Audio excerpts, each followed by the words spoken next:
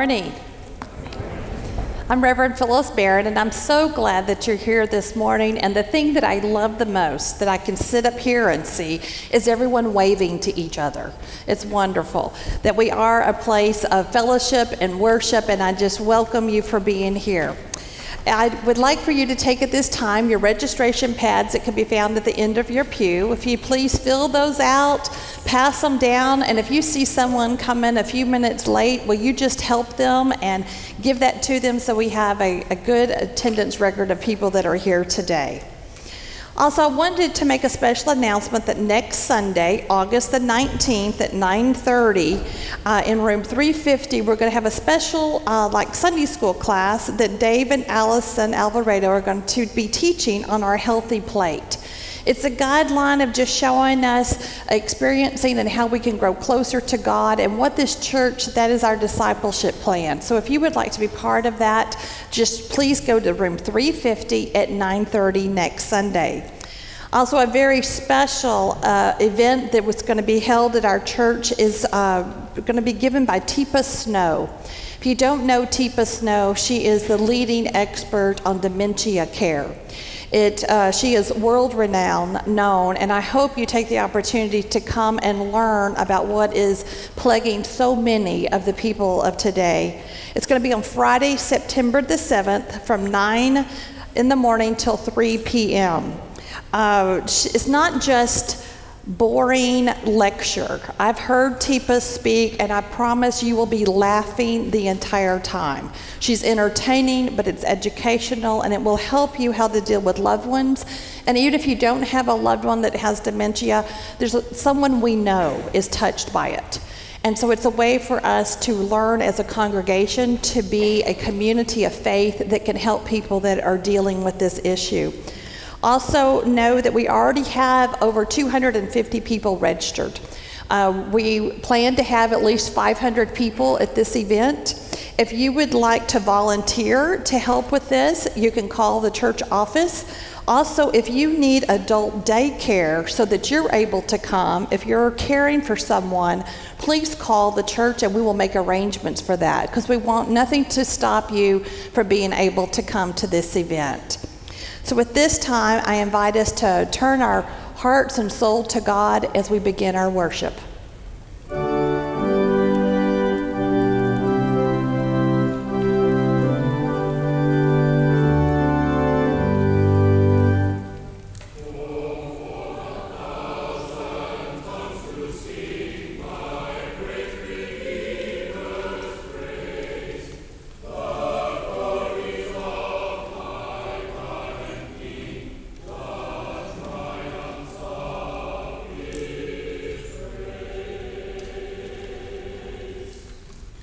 Would you please stand for our call to worship? The Lord is our strength and our protection. The Lord was our saving help.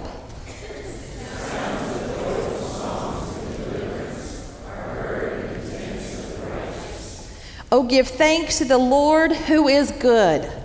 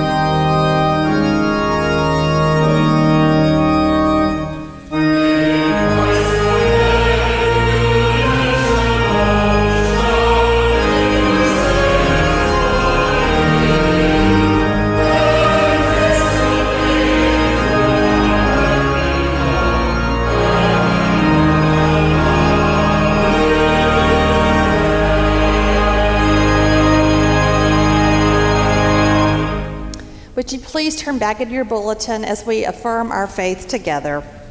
We are not alone. We live in God's world.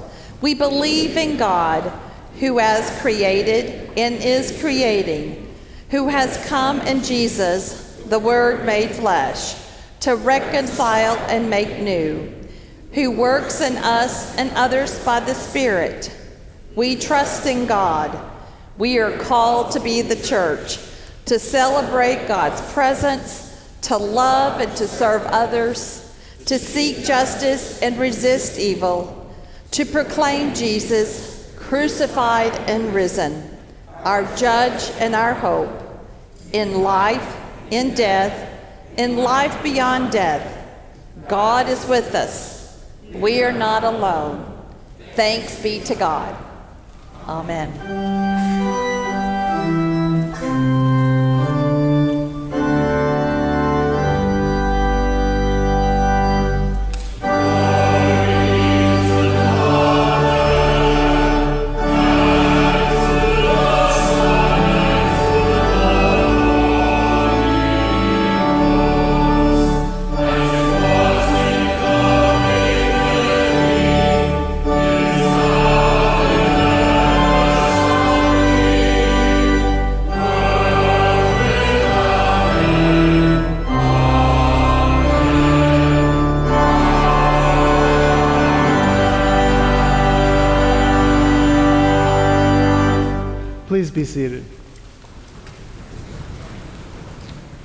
We want you to know that the Lowry family, who you see listed here for the sacrament of baptism, they've postponed the baptism so that they can have as many family members here as possible. So that will not be today.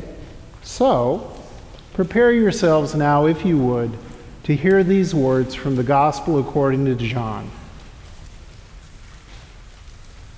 Many Samaritans in that city believed in Jesus because of the woman's word when she testified, He told me everything I've ever done. So when the Samaritans came to Jesus, they asked him to stay with them, and he stayed there two days. Many more believed because of his word. And they said to the woman, We no longer believe because of what you said for we have heard for ourselves and know that this one is truly the Savior of the world. God speaks to us through the reading of Scripture. Thanks be to God.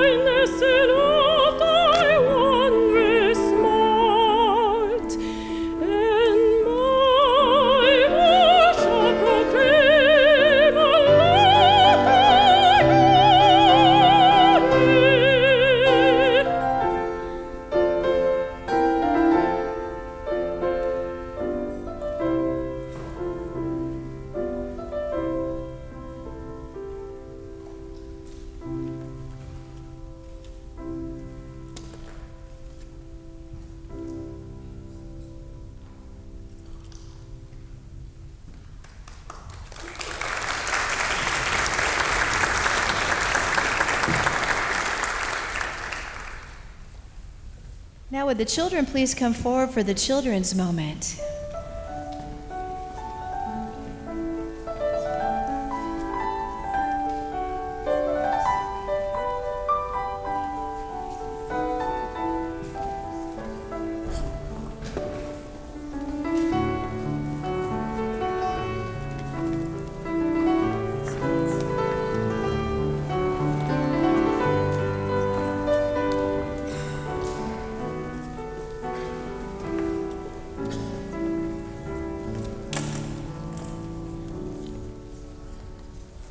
Well, good morning, my friends. Good morning.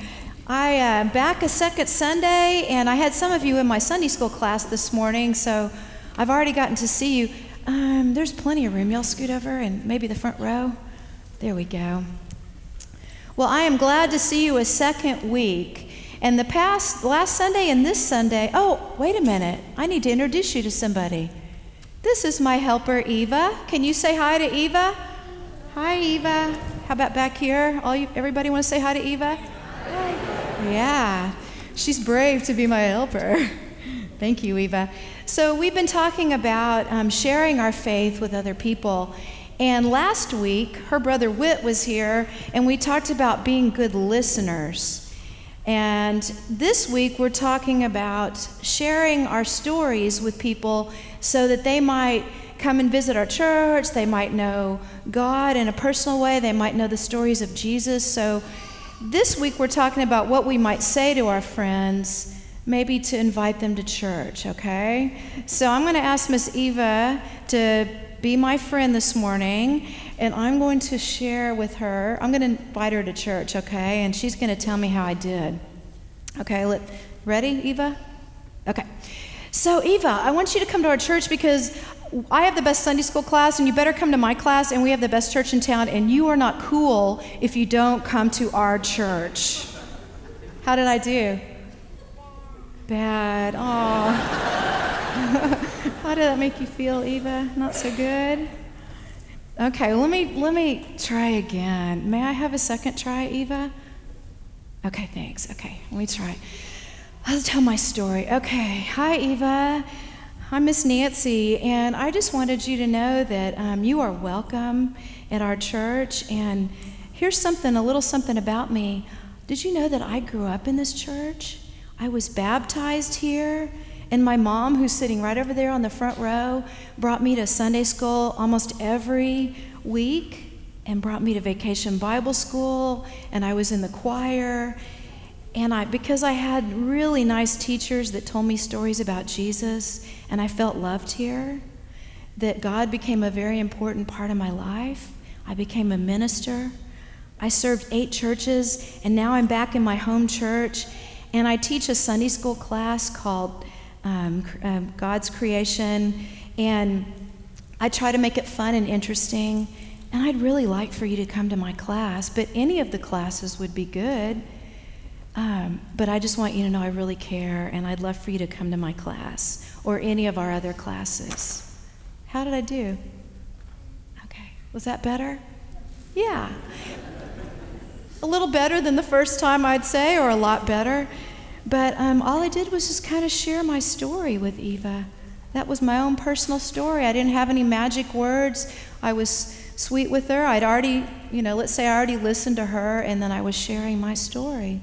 So that, that was, hey, thanks, Eva. You're a good listener. Okay, let's have a prayer. Let's pray. Loving and gracious God, we thank you that you love us. And Lord, help us to be patient and first listen to our friends. And then, God, give us the courage and the wisdom to share our stories with others so that they may know how you have loved us and touched us and how they can be loved by you also. We thank you for our church and our church friends and for all the blessings we have. We pray this in Jesus' name. Amen. Okay, you may go back to your parents. Thanks, Eva.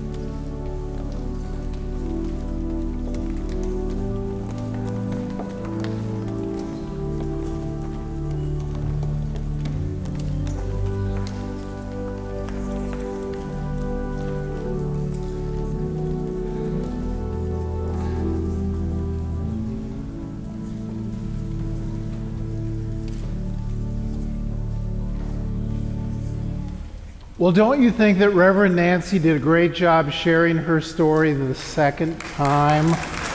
Well done. Well, now we have an opportunity to share a part of the Christian story with one another, and that is being able to stand, to move around, to say good morning, and to offer others the peace of Christ. Would you please do that now?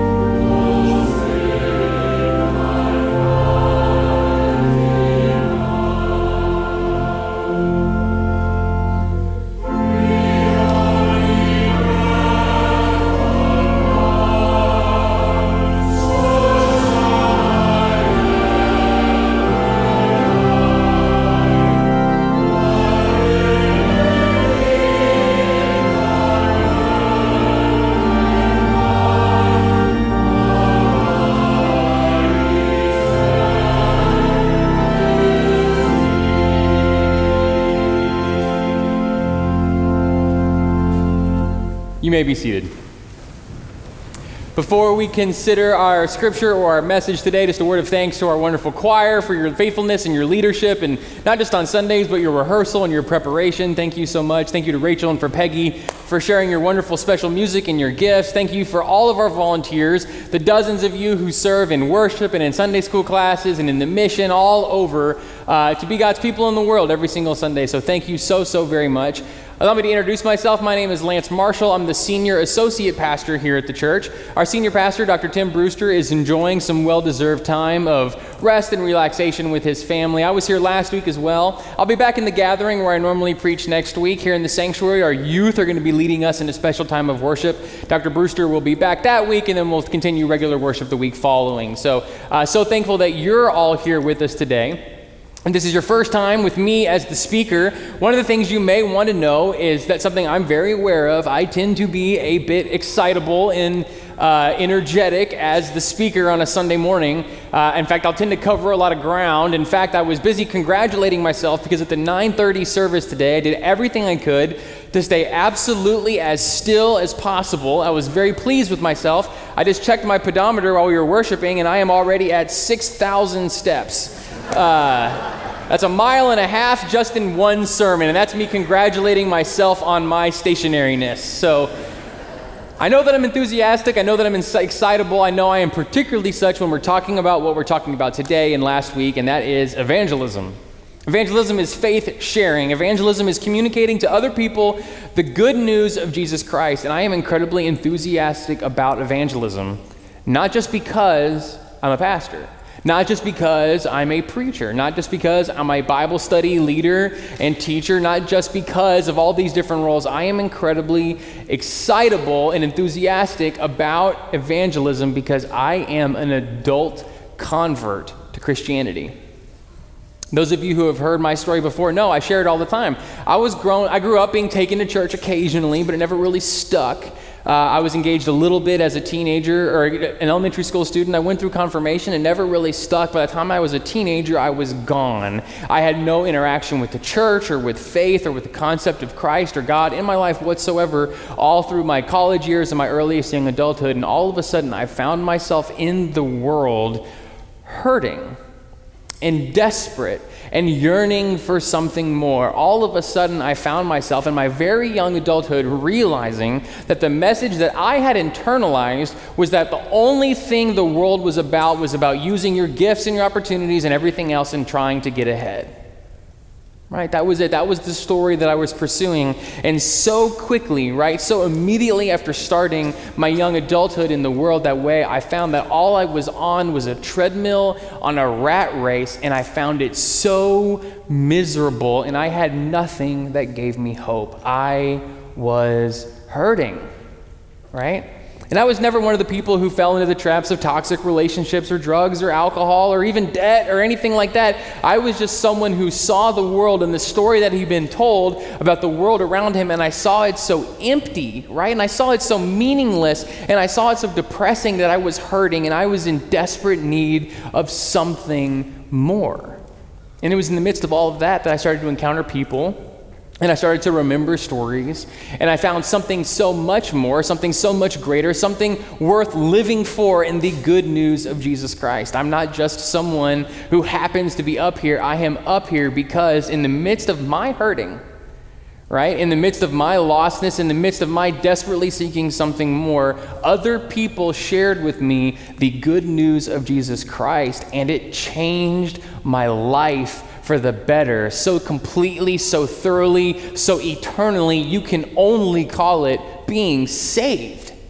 Right? So, of course, I am enthusiastic about evangelism. I'm enthusiastic about evangelism in the exact same way that someone had a life transforming weight loss would be enthusiastic about changes to their diet or exercise program right? I am enthusiastic about evangelism in the very same way that someone was transformed from a life of crushing death into financial stability by Financial Peace University. I am enthusiastic about evangelism in the very same way that someone who had a life threatening chronic condition would feel about the medicine that changed everything for them, right? I am enthusiastic about evangelism because if you take our congregation right here, and you add it together with every other one of the hundreds of congregations that are worshiping together in the city of Fort Worth right now, large and small, each and every one of us added all together, together, all the people that are gathered for worship and the proclamation of the good news of Christ at this moment in the city of Fort Worth, we are in the vast minority. Do not ever forget that. We are still in the vast minority and surrounding each and every one of us in our neighborhoods and surrounding each and every one of us in our schools and each and every one of us in our extended families and our places of business are people who are hurting and who are looking for the answer for something more. That is why I am enthusiastic about evangelism because I've experienced it, and there are so many others who are yearning for what I have found. So, we're talking about evangelism. Last week and this week, we're talking about evangelism, and more than just the idea that we need to be evangelists, right? Or that each and every one of us can be evangelists, or that each and every one of us should be evangelists. What we're talking about is how to do evangelism, right? How to actually do it.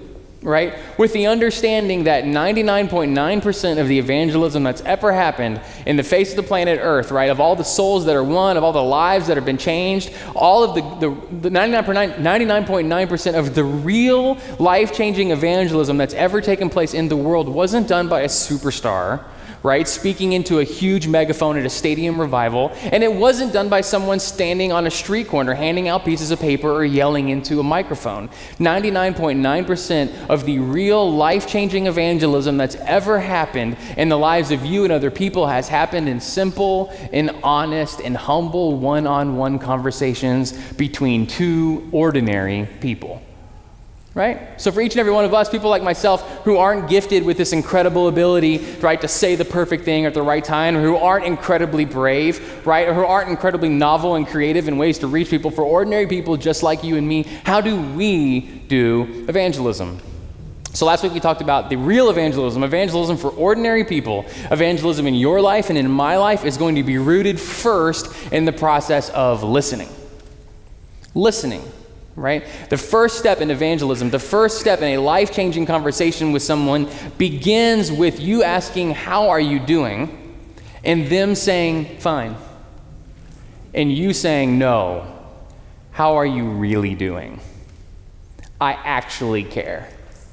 I actually care enough to listen. How are you actually doing? How is your family actually? Right? How is work actually? How are your relationships actually? How is your experience with being in high school for the first time and all the changes that are going on actually? How are you actually? And caring enough to listen to them when they speak with you. And what you're going to find, what you're going to find when someone realizes that you really care and that you're really listening, what they're going to start sharing with you is so much more than just an update on how things are going. What they're going to start sharing with you is how they're hurting. Right? If you care someone how they're if you ask if you care enough to ask someone how they're actually doing, doesn't matter where their house is located, what kind of zip code they're in, what kind of car they have, what kind of title they have on their business cards, how many kids they have, how good looking they are, what football team they're on. It doesn't matter what they have going on that you can see from the outside, every person is yearning for something more. Each and every person is looking for something out of life and from God. And when you start to listen to people, when you care enough to actually hear what's really going on in their life, they will start to share with you what they're really looking for. Something like what their place is really in this world.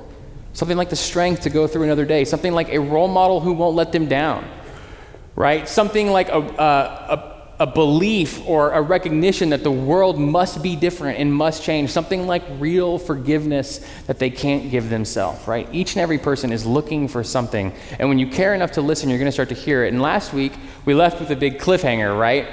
So you listen, right? You start to actually hear what's really going on in their life, and then you say what? Right? Then you say what? What you say to someone at that moment when the time is actually here, when two ordinary people are really sharing their ordinary lives, what you share is your story. Right? What you share with this person after hearing what they really need is your story, and your story has two components to it. Right? When you share your story, you share two things with that person what you've found and where you found it. When you're sharing your story, when you're at this moment of evangelism, you share what you found and where you found it.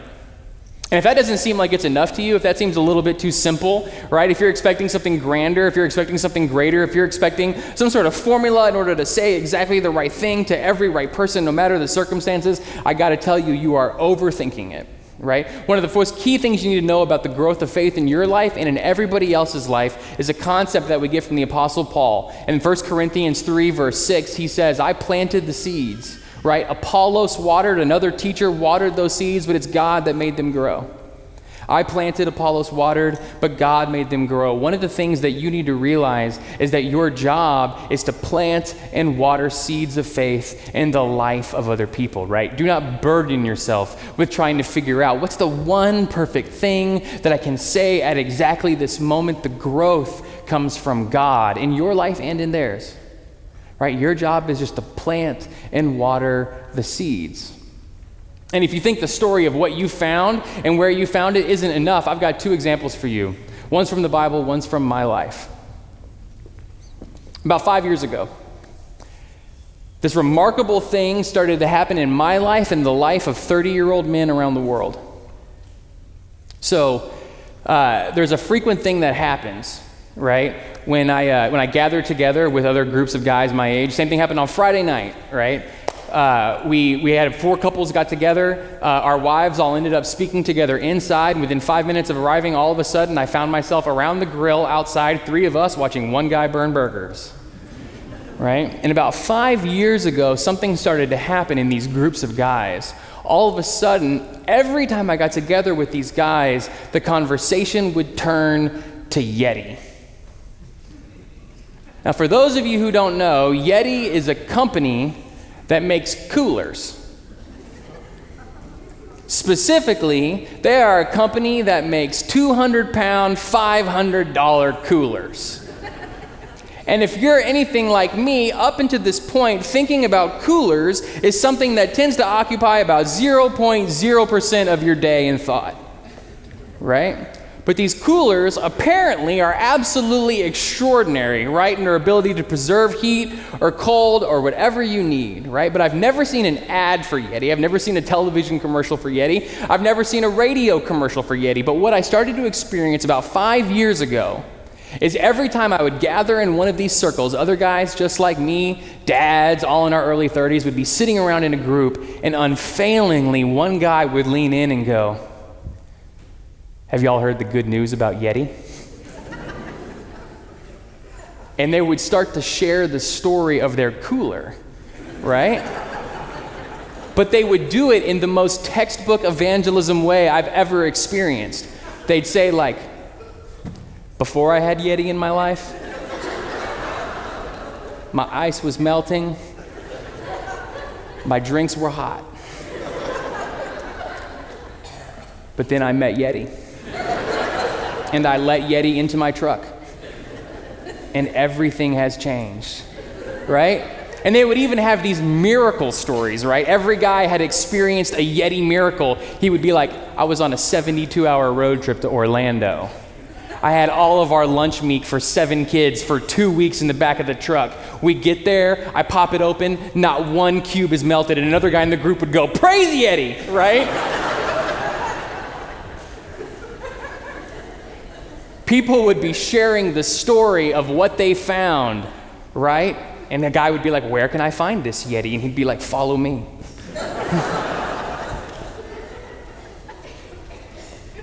And I gotta be honest, in all this time, I never bought a Yeti cooler. I still don't have one.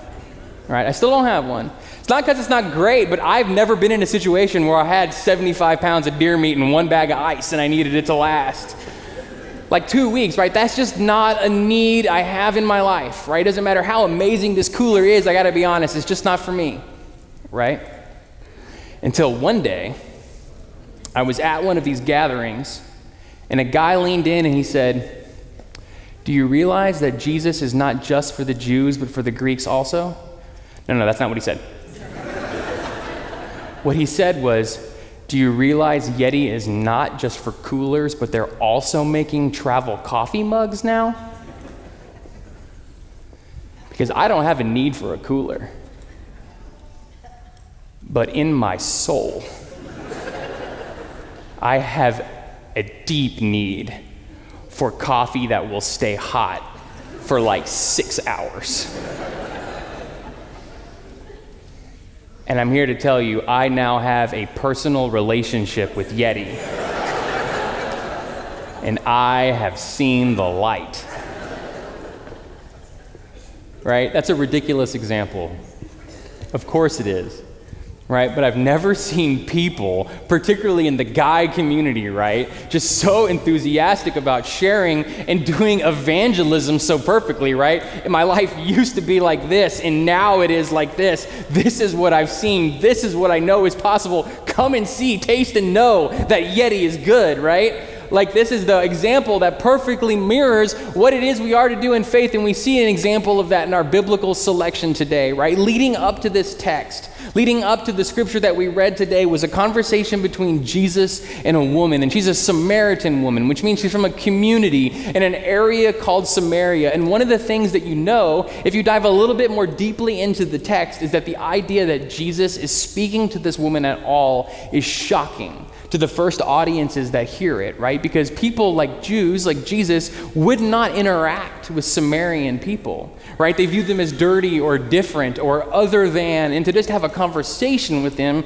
was to make yourself unclean, let alone for a pious religious teacher like Jesus to be speaking to a single woman of any kind, let alone a single Samaritan woman, or as we are later to discover in their conversation, a single Samaritan woman with a sketchy past, the very idea that he was talking to her completely shatters the understanding of who God is and what God is doing in this man. And all of a sudden, this woman who was ostracized from her community, right, seeking water far away from the rest of town because they had rejected her and they would not accept her, found in this unlikely man someone who knew everything about her all of the things that other people judged her for, or called her not good enough for, or left her behind for, he looked her square in the eyes and said, Come and find the living water, the source of the life that you're looking for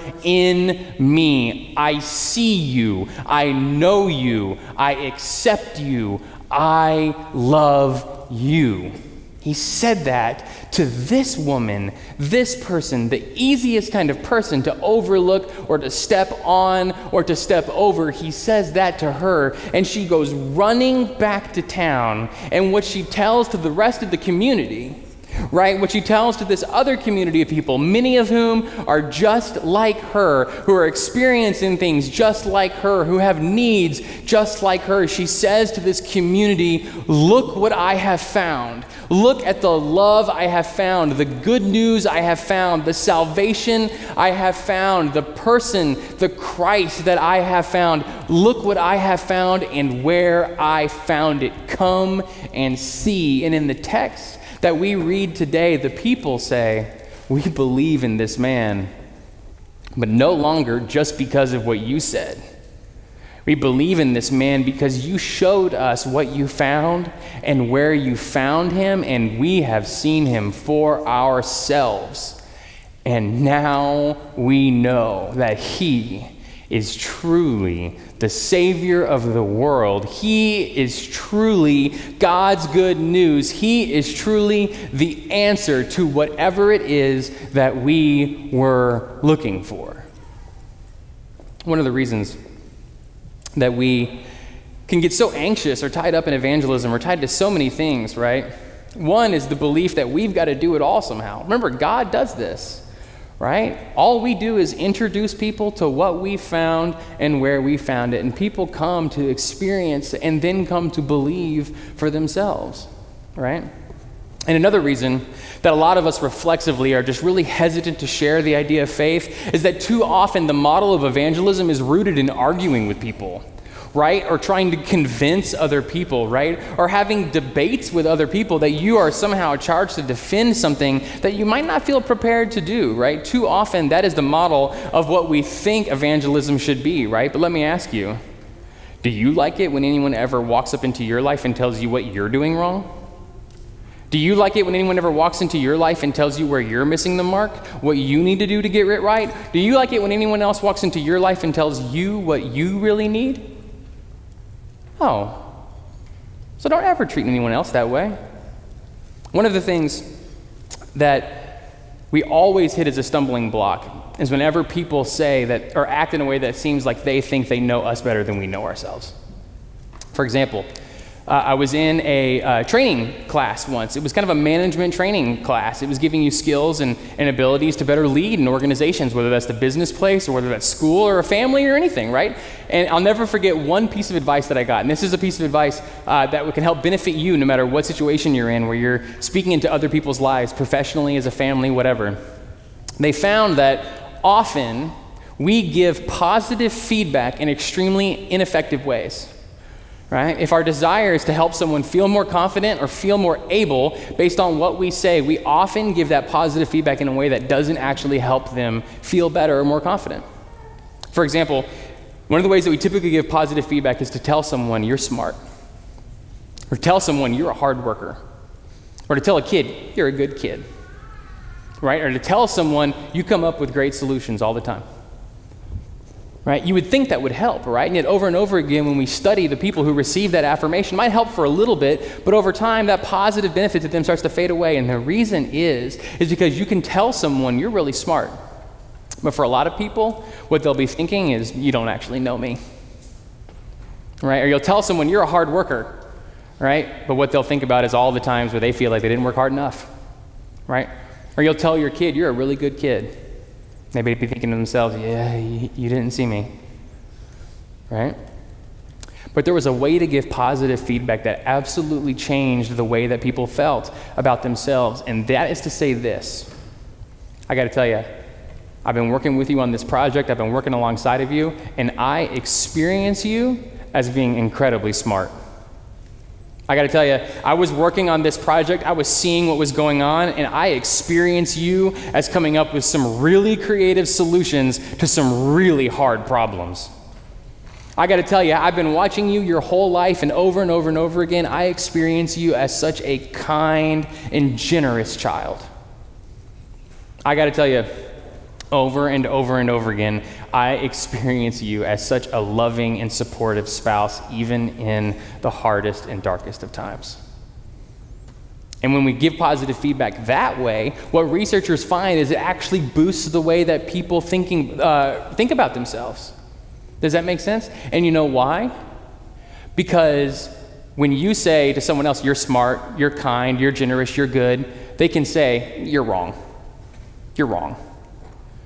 But when someone says, I experience you as being very, very kind, you can't say you're wrong to that, right? That's what they experienced, right? When someone says to you, I, when, when you say to someone, I experience you as being so insightful or so brave or so good, they can't say you're wrong because that's your experience. You are the world's leading expert in your experience, and no one can tell you that you're wrong. It's your experience. Of course, you know. And so when we get to that conversation about faith, when we get to that conversation about church, when we get to that conversation about Christ, don't tell people what you think they need right? Don't argue with someone about why their worldview is wrong. Tell them what you've found. Tell them what you've experienced. Tell them what you've come to know. And they will never argue that you are wrong because it's your story.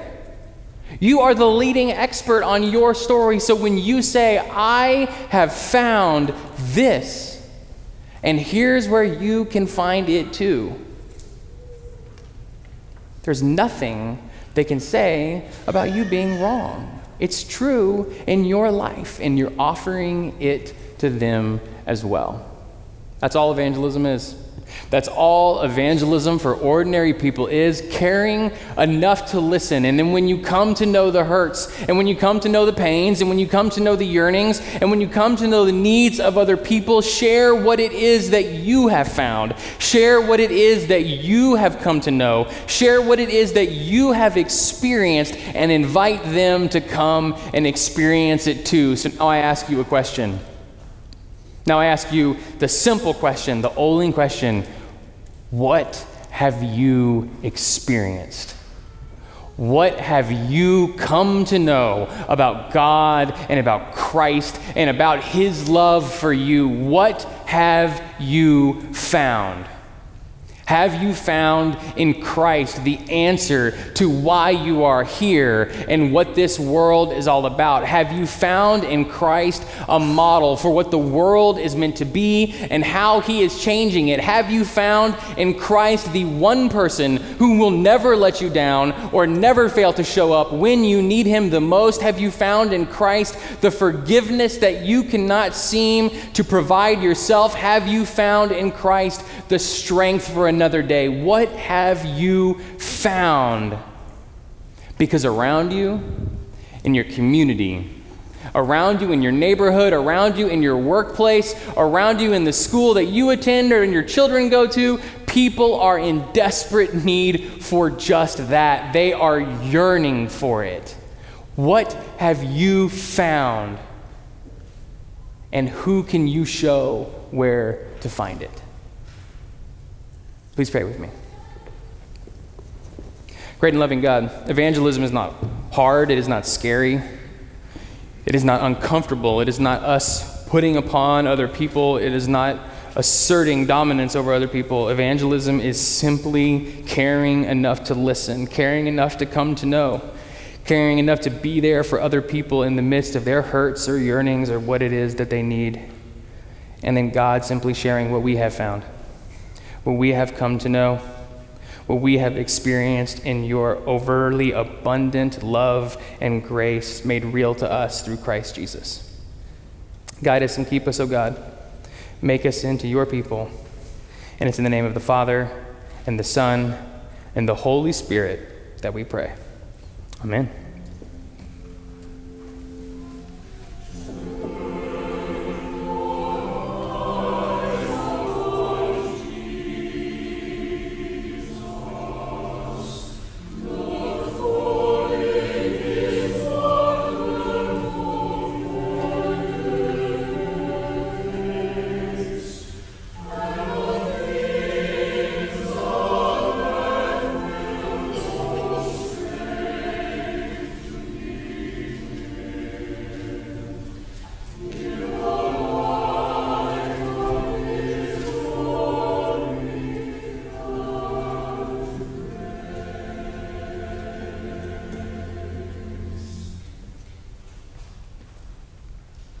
Loving and gracious God, we come here today for many reasons. It begins with our desire to say thank you. Thank you for your gracious love. Thank you for your forgiveness. Thank you for believing in us even when we don't believe in ourselves. Thank you in providing a story for us. And with that story, we have such a valuable treasure. With that story, we have found what we can share with others out of our interest, out of our love and out of our recognition that you bless all of us to be blessings for others. And so, with confidence, with smiles, and with great expectations, may we share that story today and in oh so many days to come. And may we always do so in Jesus' name who teaches all of us to pray together as we now say, Our Father, who art in heaven, hallowed be thy name. Thy kingdom come, thy will be done, on earth as it is in heaven. Give us this day our daily bread, and forgive us our trespasses, as we forgive those who trespass against us. And lead us not into temptation, but deliver us from evil. For thine is the kingdom and the power and the glory forever.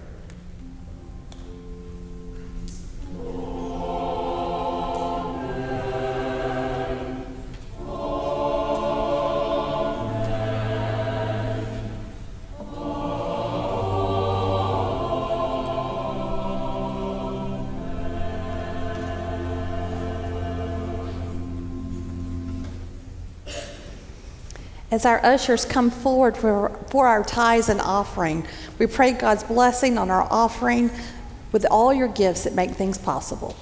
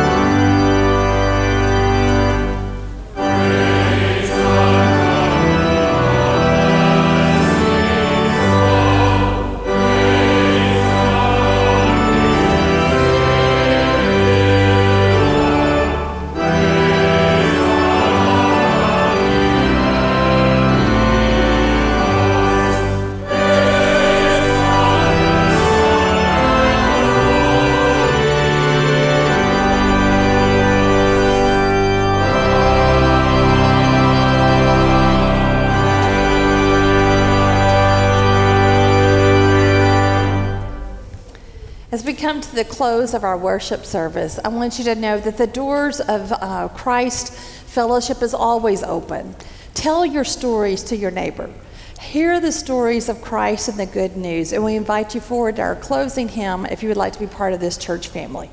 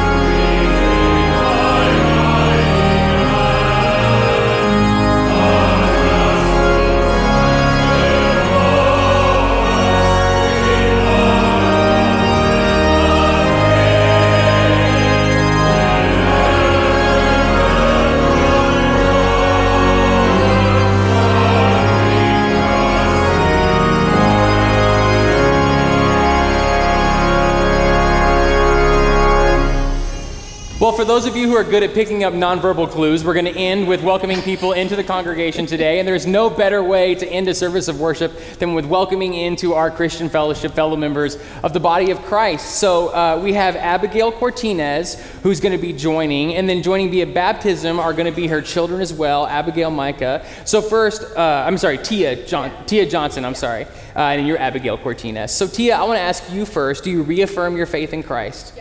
And you, do you promise to be a loyal member of this church and uphold it with your prayers, your presence, your gifts, your service, and your witness? Okay, then now additionally, as a parent, do you promise to teach and model the faith uh, for these two children so that one day they can come to accept Christ for themselves in front of this or some other altar? Abigail Micah, would you please kneel on the rail right there? Abigail, I baptize you in the name of the Father and of the Son and of the Holy Spirit, and pray God's richest blessings upon you. Amen. And would you place your hands on her as well? Abigail, Micah, the Holy Spirit work within you, that by water and the Spirit you may grow to be a faithful member and follower of your Lord Jesus Christ. Amen and amen. So, Robert, you coming forward? Too scary? We'll talk about it. Never force them. right? Uh, really quickly, as we come to the end, I'm going to ask Tia to stand forward and allow you to come forward and, and welcome her into this congregation. Uh, I also want to commend again to you the uh, Healthy Plate Discipleship class. It's going to be taking place next week. If you're one of the people who hears this message today and goes, I don't really know if I've experienced something that powerful yet, or I've experienced a shade of it and I want to come to know more, or I'm interested in becoming a part of this church, nothing could better prepare you than learning how to grow and come closer to God as a disciple than attending that class. It's going to be next Sunday during the 9:30 hour in room 350. We would love to help you take the next steps on your journey of knowing and loving Christ. Our gathering will soon be ended. Where will we go and what will we do? May grace, peace, hope, love, and joy forever accompany you. Amen.